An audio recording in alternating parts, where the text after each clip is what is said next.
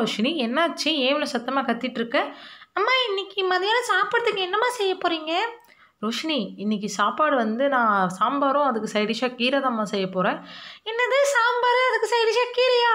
ஐயோ அம்மா எனக்கு சுத்தமாக ஆக மாட்டேங்குது. நீங்கள் எப்போ பார்த்தாலும் இதே தான் சமைக்கிறீங்க. சாம்பார் ரசம்னு இதே சமைச்சு போகிறீங்க எனக்கு போர் அடிச்சிச்சுமா சரிம்மா வேறு என்னம்மா பண்ணணும்? அம்மா இன்னைக்கு நான் சமைக்கிறேன் அம்மா. நான் ஒரு டிஷ் ஒன்று பார்த்து வச்சுருக்கேன். அதை நான் பண்ணலான்னு இருக்கேம்மா டிஷ்ஷா என்ன டிஷ்மா அம்மா ஆனியன் பீஸாமா அதுக்கு சைட் டிஷ்ஷாக ஆட்டுக்கால் பாயம் தாம்மா செய்ய போகிறேன் என்னது?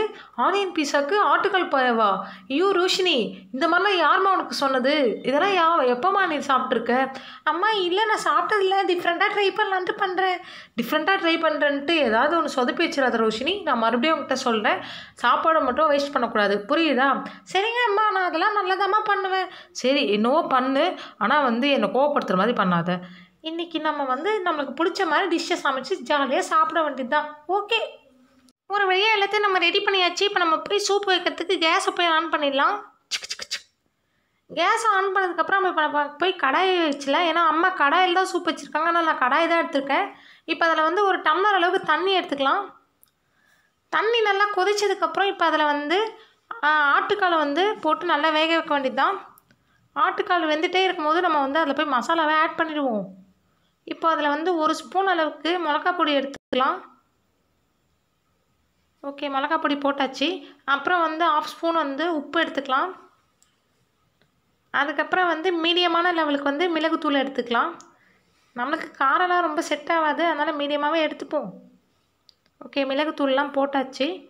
போட்டதுக்கப்புறம் இப்போ வந்து அம்மா என்ன பண்ணுவாங்க நாலு வாட்டி கலக்கி விடுவாங்க. அதனால் நம்மளும் போய் சூப்பை வந்து ஒரு நாலு வாட்டி கலக்கிடலாம். ஓகே இப்போ கலர்ஃபுல்லாக ஆகிடுச்சு அதுக்கப்புறம் வந்து சூப்பில் வந்து நம்ம வந்து வெங்காயம் எடுத்துக்கலாம். வெங்காயம் போட்டால் தான் இன்னும் டேஸ்ட்டாக இருக்கும். வெங்காயம் போட்டு அதையும் வந்து மறுபடியும் வந்து நல்லா கிளறி விட்டுடலாம். ம் பார்க்கவே நல்லா கலர்ஃபுல்லாக தான் இருக்குது டேஸ்ட் எப்படி இருக்குமோ. ஓகே இப்போ நல்லா கலர் விட்டாச்சு. இப்போ அதை வந்து ஒரு சின்ன தட்டு போட்டு மூடிடலாம். எதனாலனா அப்போ தான் வந்து சூப்பு வந்து சீக்கிரமாக வேகும். வெந்ததுக்கப்புறம் தான் தெரியும் என்ன ஆகுன்ட்டு சரி நம்ம போய் பீஸா செய்கிற வேலையை பார்ப்போம். ஒரு வழியாக சூப் வந்து ரெடி ஆகிடுச்சு இப்போ நம்ம வந்து தட்டை ஓப்பன் பண்ணி பார்க்கலாம். வாவ் செம்மையாக இருக்குது கலர்ஃபுல்லாக இருக்குது பார்க்கவே. ஓகே இப்போ ரெடியான சூப்பை வந்து கரண்டியால் நாலு வாட்டி கிளறி விட்டுடலாம். வாசனையே நல்லா தூக்கலாக இருக்குது பெப்பர் வேறு செம்மையாக போட்டிருக்கோம். ஓகே இப்போ கேஸ் ஆஃப் பண்ணிவிட்டு சூப்பை வந்து சூப்பராக கீழே இறக்கி வச்சிடலாம். நெக்ஸ்ட்டு வந்து நம்ம பீஸா செய்யறதுக்கு எல்லாத்தையும் ரெடி பண்ணி வச்சுருக்கோம். இப்போ பீஸா தான் செய்ய போகிறோம் ஐயா ஜாலி. ஓகே ஃபஸ்ட்டு பீஸா செய்யறதுக்கு ஃபஸ்ட்டு வந்து ஒரு பெரிய பவுல் எடுத்துக்கலாம். அந்த பவுலில் வந்து நம்மளுக்கு தேவையான அளவுக்கு மைதா மாவு எடுத்துக்கலாம். ஒரு நாலுலேருந்து அஞ்சு ஸ்பூன் அளவுக்கு சாரி கரண்டி அளவுக்கு. ஏன்னா மைதா மாவில் தான் பீஸா செய்வாங்க அப்போ தான் வந்து டேஸ்ட்டாக இருக்கும். இப்போ வந்து மைதா மாவெல்லாம் நல்லா போட்டாச்சு. போட்டதுக்கப்புறம் ஒரு டம்ளர் அளவுக்கு தண்ணி ஊற்றிடலாம் ஐயோ நிறைய ஊற்றிட்டேன் சரி ஓகே மேனேஜ் பண்ணிப்போம். இப்போ அதில் கொஞ்சோண்டு ஆயில் அப்ளை பண்ணிக்கலாம். மறுபடியும் வந்து மாவு ஊற்றுக்கலாம் ஏன்னா அது வந்து தண்ணி நிறைய ஆயிடுச்சு. ஓகே ரோஷினி ஐயோ இன்றைக்கி அடி வாங்காமல் தான் சரிதான் ஓகே இப்போ மறுபடியும் மாவு போட்டு ஒரு நாலஞ்சு வாட்டி நல்லா கலக்கி விட்டுடலாம். இல்லை பத்தலை இன்னும் கொஞ்சம் போட்டுப்போம் அப்போ தான் பீஸா ஒழுங்காக வரும்னு நினைக்கிறேன். ஓகே இப்போ நல்லா கலரி விட்டாச்சு. அடுத்தது வந்து அதில் கொஞ்சோண்டு உப்பு எடுத்துப்போம் மாவில் வந்து உப்பு போட்டு அதே வந்து நல்லா கலரி விட்டுடலாம். அதுக்கப்புறம் வந்து தட்டு போட்டு ஒரு ஆஃப் அன் ஹவருக்கு வந்து மூடி வச்சிடலாம். அப்போ தான் வந்து அந்த பீஸாவோட மாவு வந்து நல்லா வந்து ஃப்ளப்பியாக வரும் நம்மளுக்கு. ஓகே இப்போ ரெடி ஆகிடுச்சு ஓப்பன் பண்ணி பார்க்கலாம். வா ஓகே என்ன தண்ணியாக தான் இருக்குது இன்னும்? சரி ஓகே சமாளிச்சிடலாம். இப்போ அதுக்கு மேலே வந்து நம்ம ஆனியன் போட்டலாம் ஏன்னா நான் செய்கிறது வந்து ஆனியன் பீஸா ஆட்டுக்கால் பாயாக்கு டிஃப்ரெண்ட்டாக ட்ரை பண்ண போகிறேன் நான். ஓகே ஆனியன் போட்டாச்சு. இப்போ அதுக்கு மேலே வந்து பெப்பரை தூவிடலாம். அதுக்கப்புறம் வந்து கரம் மசாலா தூவிடலாம். எல்லாத்தையும் முடிச்சுட்டு நம்ம வந்து எடுத்துகிட்டு போய் கேஸ் ஆன் பண்ணி மேலே வச்சிடலாம்.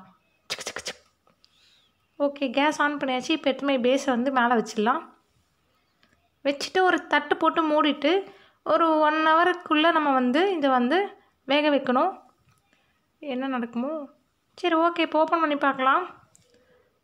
ஓப்பன் பண்ணி பார்த்தாச்சு. ஓகே ஓரளவுக்கு வெந்திருக்குன்னு நினைக்கிறேன். இப்போ வந்து அந்த பீஸாவை வந்து அப்படியே இறக்கிடலாம். கேஸ் ஆஃப் பண்ணிடுவோம் அதுக்கு முன்னாடி. இறக்கியாச்சு. இதுக்கப்புறம் வந்து ஒரு கட்டரை எடுத்து எத்தனை பீஸ் வேணுமோ அத்தனை பீஸ் நம்ம இஷ்டத்துக்கு வந்து கட் பண்ணிக்கலாம். நம்ம வீட்டில் வந்து மம்மி டேடி இருக்காங்க. அப்போ வந்து ஒரு சிக்ஸ் பீஸ் போட்டால் போதும். ஆளுக்கு ரெண்டு ரெண்டு சாப்பிட்லாம். ஓகே. ஓகே இப்போ எல்லாமே வந்து ரெடி ஆகிடுச்சு இப்போ நம்ம போய் ஃபஸ்ட்டு டேஸ்ட் பண்ணிடலாம். ஆல்ரெடி வந்து காஃபி போட்டு டேஸ்ட் பண்ணாமல் சர்க்கரைக்கு பதில் உப்பு போட்டோன்னு அம்மாக்கிட்ட செம்ம திட்டு வாங்கினோம் இப்போ மறுபடியும் அந்த மாதிரிலாம் நடக்கக்கூடாது. ஓகே சூப்பை ஃபஸ்ட்டு குடிச்சு பார்க்கலாம். ம் சூப்பு நல்லா இருக்கே டேஸ்ட்டாக என்ன காரம் தான் கொஞ்சம் தூக்கலாக இருக்குது பட் ஓகே இந்த கிளைமேட்டுக்கு இந்த காரம் தான் கரெக்டாக இருக்கும். ஓகே சூப்பு நல்லா இருக்குது நெக்ஸ்ட் நம்ம போய் பீஸாவை ட்ரை பண்ணுவோம். பார்த்தாலே பீஸா கொஞ்சம் சரியில்லாத மாதிரி தான் இருக்குது ஓகே இப்போ வந்து பீஸாவை ட்ரை பண்ணிட்டு தான் என்ன நடக்க போதோ. ஓகே பீஸா எடுத்தாச்சு.